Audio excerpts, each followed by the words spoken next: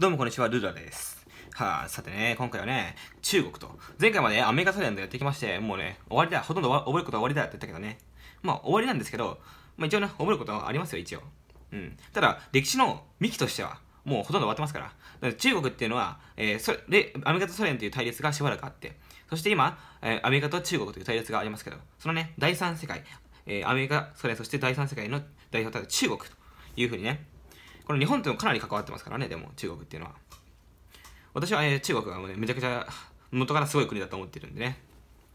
まあ、脅威ではありまありますよ、もちろん。だからこの中国について勉強するのは非常に重要だと思いますね。まあ、前置きはね、こんぐらいにしてね、早速まあ内容いきましょう。もうさっさと進めてほしいですね。さあ、行きましょうか。これ、中国、日本降伏の後、再び内戦へっていうのが、まあ、一番初めのことですね。国境内戦っていうのがあります。中国国民党 VS 中国共産党っていうね。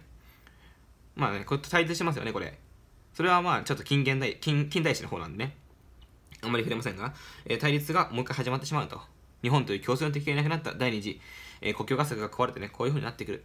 そして、この時の状況としてね、中国国民党は腐敗や経済混乱をもたらしたことによって支持を失っていく。中国共産党は逆にね、農村で土地改革をして支持を得るという風に中国共産党の方に傾いてるわけですよ。で、まあ、そういう状況があるということを頭に入れて、その時ね、途中にね、一時和解っていうので、操縦協定、10月とかの操縦協定というのを結んで、一時的に和解するんですけど、また内戦がスタートするという流れです。で、えーね、これ、ね、台湾へ、えー中国国民党は敗れて台湾へ向かい、中華民国政府を立てます。1949年のこと。で、この中華民国政府はアメリカ、中華民国政府はアメリカが支持します。中国共産党は中国本土に残り、中華人民共和国を1949年について、えーソ連が、これはソ連が支持しますね。こういうふうにここでもアメリカとソ連の対立が見えるわけです。しかしこれね、中国っていうのはね、このアメリカとソ連にやられて、えーと、分かれて対立させられてるかと思いきや、もうね、中華人民共和国がどんどん力をつけて、うん、でもソ連、ソ連よりもしのぐぐらいの力をつけてますよ、今。さあ、中華人民共和国見ていきましょう。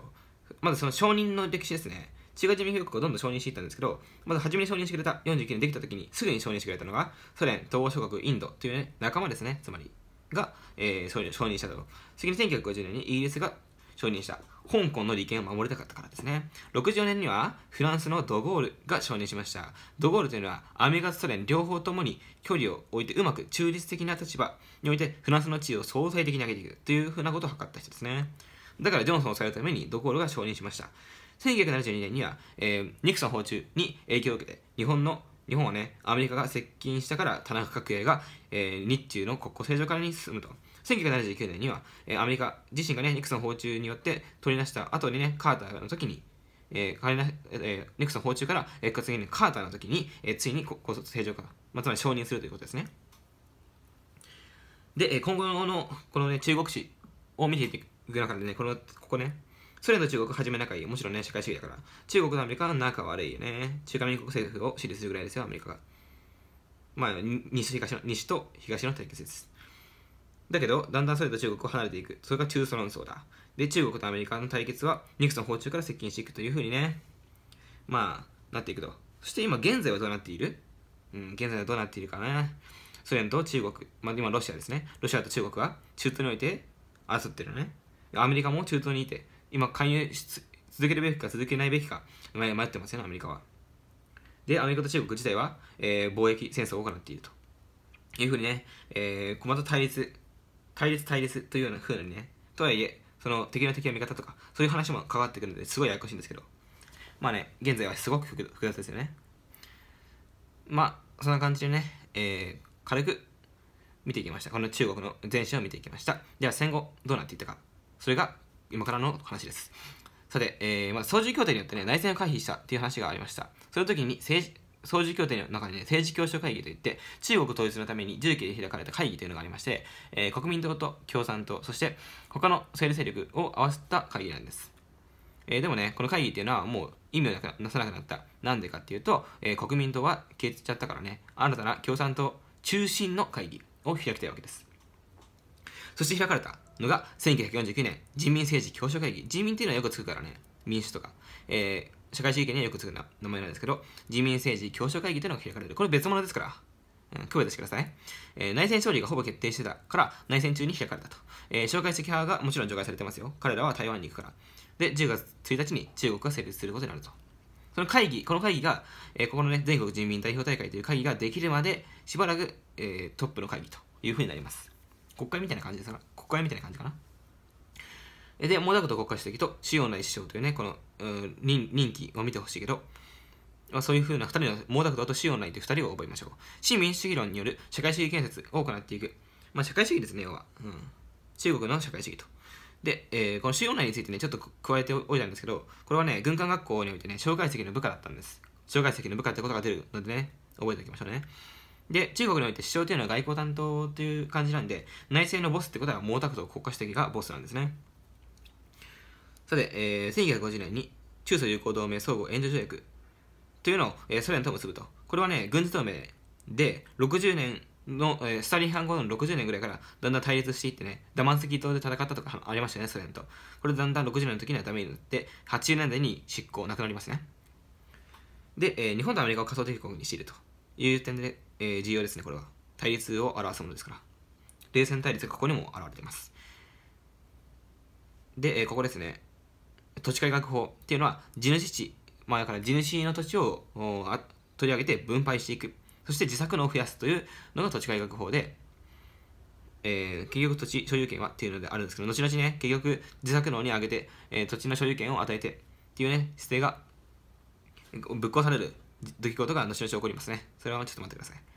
えー、っとちなみにこの中ソ友好同盟草原条約が執行したという話ですけどもすでにね朝鮮戦争の時に結構足並み乱れてると思いませんか？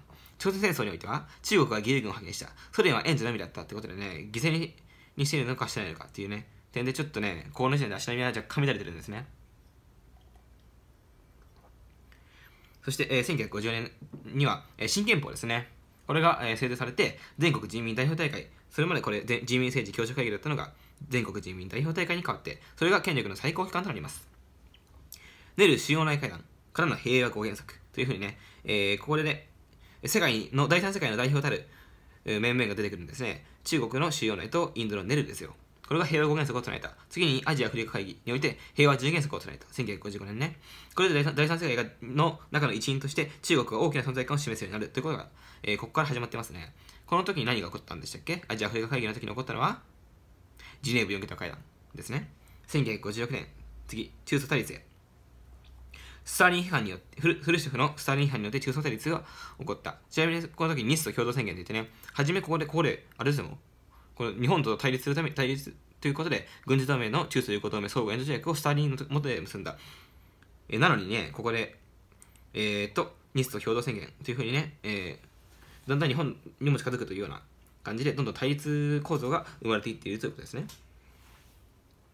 そして、えー、有名なのこれ。経済改革、第一次5カ年計画と第二次5カ年計画。これは重要です。第一次5カ年計画はまあまあ成功したと覚えておきましょう。第二次5カ年計画、過去大躍進というのは、大躍進と言いながら大失敗ということを覚えておきましょう。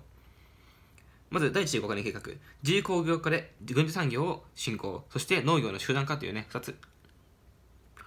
この軍事産業についてね、えー、ソ連におんぶに抱っこと書いてありますが、ソ連にめちゃくちゃ依存してるんです。中ソ技術協定という秘密協定が結ばれたと言われていて、まあ、正確には不明なんですけど、原爆について教えたと言われています。これは60年に破棄していますね。これも軍事同盟があやふやになった時と同じぐらいですね。この技術協定、えー、スタリン藩後の中ソ対立によって破棄することになりました。ってことは覚えておきましょう。そして、えー、第2次5カ年計画は1958年から始まってます。これ大躍進、進もうと躍進しようってことを言っている。で、人民公社の設立設立で農工業の発展やってことでね、目指していくんです。でも生産力減退、無茶な精神論、鉄の材料が足りない。じゃあ、農具を溶かして鉄を作ればいいじゃんとかね、言ってね、農耕がダメになったり、えー、スズメが米を食べる。でもスズメっていうのは、虫も食べますからね。だから、結構役に立つ鳥なんですよ。でもスズメが米を食べるから、農業生産増やすためにはスズメ狩ればいいやんって言ったらスズメを、えー、狩りまくったんですね。それによって逆に今度は稲子が発生して米を食い出される、農作物を食い出されるという事態が起こった。えー、さまざまな無茶な精神論、理論に基づかないわけわからない話によって、えー、大失敗を、大失敗して、死者はね、2000万から4500万。そうガチですよ。栄養失調ですよ。そういうことが起こってるんです。これによって毛沢東の、えー、もう権威が失墜するんですよ。もう失敗してます大失敗してますから。まあ今結局祭り上げられてますけどね。まあわけわからない話ですよね。まあいいや。えー、次、劉少奇国家主席ね。1959年から68年、劉少奇国家主席、この人は尻拭いをさせられる人です。資本主義の部分的復活によって、えー、国をなんとか助けようとした。頑張ってるんですよ。えー、チベット反乱、えー、っていう、えー、ちなみにね、このチベット反乱っていうのも触れておきましょう。社会主義と同化政策、えー、と共産主義に、社会主義においてはね、宗教は麻薬と言われるぐらい、言われたぐらいです麻薬主義ですから、えー、宗教は麻薬ということで宗教弾圧とか行うわけですよ。えー、その宗教弾圧によってチベット仏教徒が弾圧されたことに弾圧されることによって、えー、それに対して反乱が起こったと。それがチベット反乱です。結局、軍隊が、中国の軍隊が介入してきて、ダライラマ14世はインドへと亡命することになると。59年から62年に中印国境紛争の火種となるのがこのチベット反乱ですね。ダライラマ14世が亡命したということは重要です。さて、この劉少奇が国家主席となったっていう話をしました。共産党は、中では1位が毛沢東、2位が劉少奇、そして、えー、劉少奇国家主席というのは国家の中で、共産党とかあって他の党もあって、えー、共産党の中で劉少奇が一番と。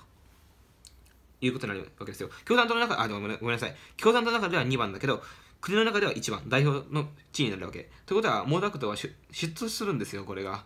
嫉妬してめんどくさいことになると。嫉妬して起こしたのが、これ。はい。プロレタリア文化大革命です。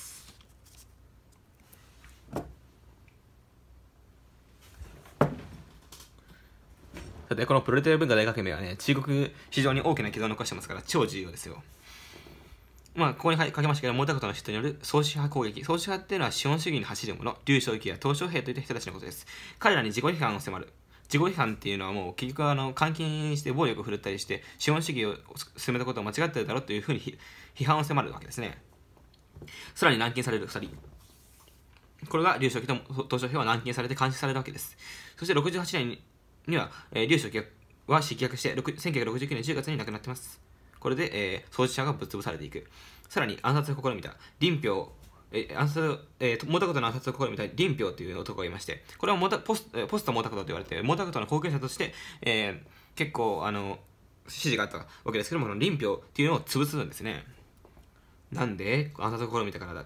これね、暗殺と言われ、暗殺、試みたから暗殺されたんじゃないかって話ですよ。飛行機事故死に、えーと、ソ連に亡命していこうとして、えー、亡命しようとして、その飛行機が事故死するわけです。この理由はね、分かってないんですけども、暗殺されたんじゃないかなって話ですね。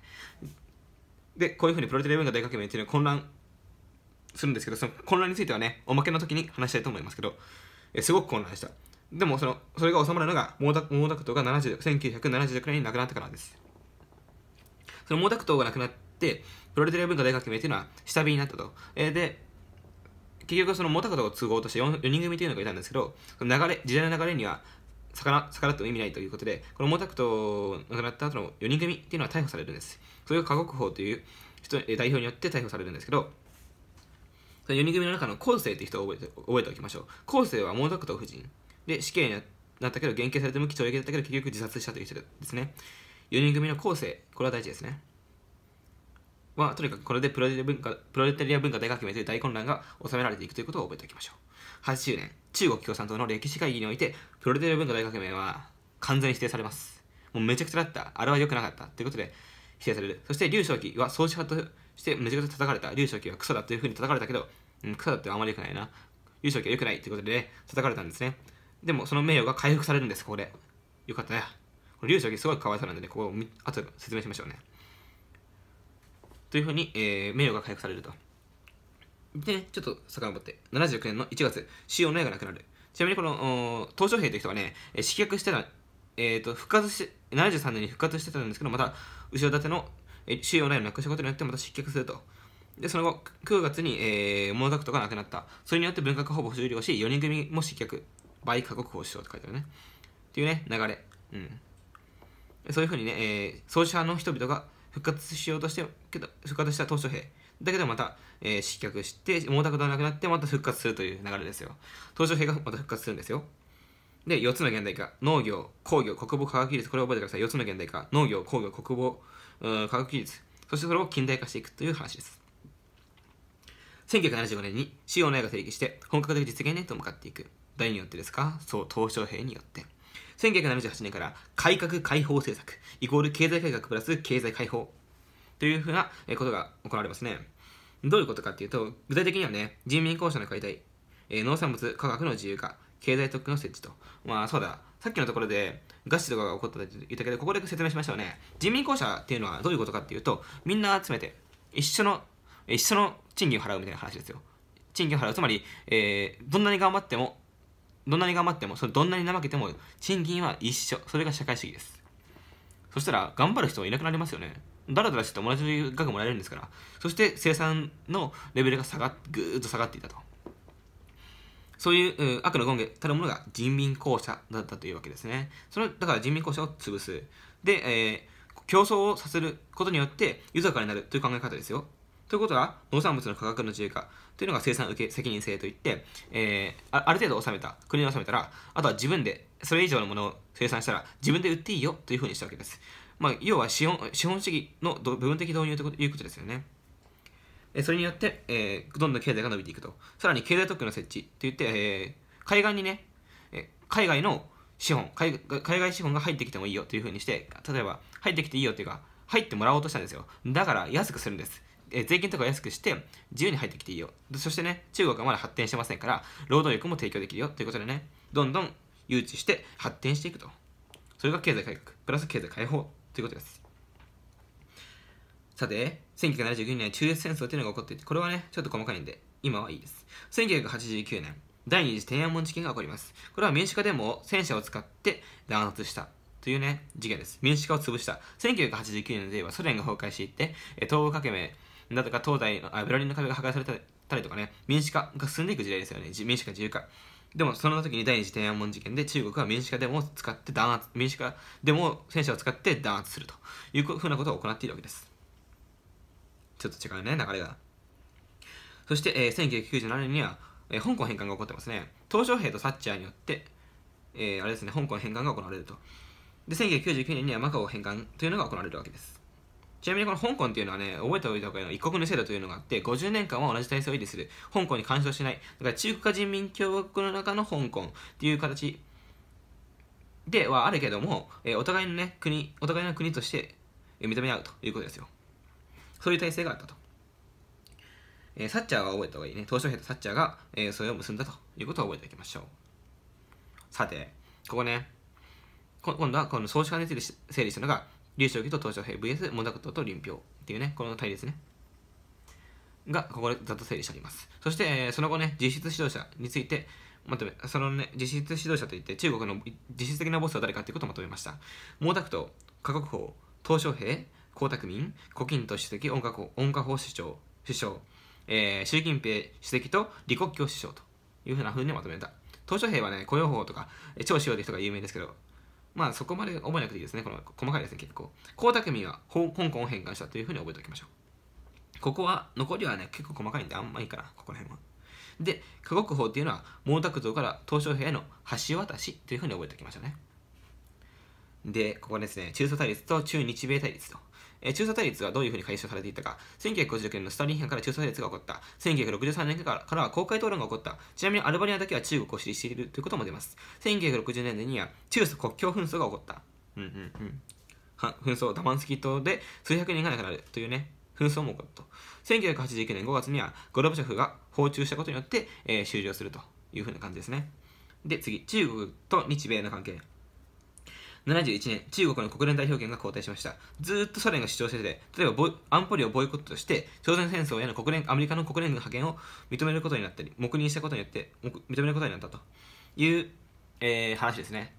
があったりとかね、ちょっとここはね、結構細かい話なんで、朝鮮戦争の時に、をやもしやる時があったら説明したいと思いますけど、まあ、ここでね、とにかくずっと話し合われてた国連代表権が入れ替わる。中華民国から中華人民共和国に変わったと。72年にはニクソン訪中によって、州内とか毛沢東と会談。それに日本は焦って田中角栄が就任したての田中角栄が訪中して日中共同声明を出して国交を正常化していく。78年には日中平和友好条約でかん、えー、完全にもう、えー、関係を回復すると、えー、そして79年には米中国交正常化カーターと加国法によって、えー、正常化されると。ニクソン訪中からここのね米中国交正常化まで行くと。さて、えー、以上ですね。まあ一応ねおまけとしてね、えーここまでで以上ですけど、プロレタリア文化大革命について説明していきましょうか。プロレタリア文化大革命っていうのはね、もう言え、もう言めんどくさい。文革というね、文革はね、社会混乱をもたらすと、死者は100万人、被害者1億人経済損失5000億円もう全然わかんないんですよ。情報がないからね、あんま。もう、情報がないっていうか、ちゃんと公表されてないから、もうわかんないんですよ。でも、推定値です。これはもう、あまりにもでかすぎて。で、例えば、その社会混乱がどうやってもたらされたかっていうと、毛沢東語録というのがあって、その中に革命は暴力運動、暴力だ、革命は暴力だという言葉があったわけ。えー、それをね、公衛兵が解釈して、それをどんどん拡大していく。つまり、公衛兵というのは若者による団体で、極左として物事にも批判されているくらい過激派なんです。めちゃくちゃ過激派。超過激派の公衛兵による武装闘争、学生運動ということです。これはあまりにもすごすぎて、人民解放軍による弾圧とかも加わりました。でもこの公衛兵というのはもうめちゃくちゃな規模ですよ。えー、公衛兵同士で争ったりもするんですよ。そういう大規模な学生運動が、えー、文革だったというふうに覚えておきましょう。えー、武装闘争はね、例えば、吊るし上げ。うん。ありましたね。自己批判とかの話。これが吊るし上げ。ブラック主義に基づき宗教弾圧、えー、仏像を燃やしたりだとか、えー、溶かしたりだとか寺院をぶっ壊したりするんですね。えー、文化破壊、万暦帝と4名の遺体をガスにかけて燃やしたというね、文化も破壊する、歴史も破壊する。ゲームも禁止、賭博とかのゲームも禁止したということですね。処女中、えー、婚前交渉によって子供ができてしまった、結婚前に子供ができてしまった女性を殺したりね、こういう風なことでマイケルにいてもない、キリがないんですよ。めちゃくちゃいろいろあるんです。調べてみてください。学校も中止されて、経済、教育、あらゆることが停滞。現在もその時の学生が生きていて、今も中国に、えー、影響を与えているんじゃないかというふうに言われています。怖いね、これ。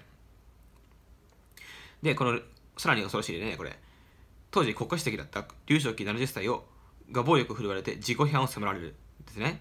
そして軟禁されたまま彼は死んでしまいますね。劉少奇は装置派と言われて、えー、叩かれたって話をしました。さらにその劉少奇の夫人もピンポン玉ネックレスをつけさせられて吊るし上げられたと。後世による嫉妬と書いてありますね。えー、夫人はね、えー、ベルマにおいて、えー、ネックレスをもらうんですね、第4度の。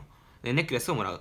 ビルまで訪れた時にネックレスをもらうとそれに嫉妬したんですよ後世がで資本主義に走ったやつだということでこういうふうにして吊るし上げるというねことをやっているわけですもうねほとんどプロレタリア文化大革命で整理されちゃいますよねあとは外交関係この辺は結構見てきました大切なのは中国の基礎を築いたが混乱をもたらした第一次5カ年計画第二次5カ年計画という、こういう経済改革とかそういうふうなものを覚えておくということですね中国は割と覚えることは少ないんですね。個別なものは多いですけど。えー、アメリカとソ連との関係によって中国をのイメージを沸かしていきましょう。それではまた、プロテレ文化大学名はもっと調べてみるといいですよ。じゃあね。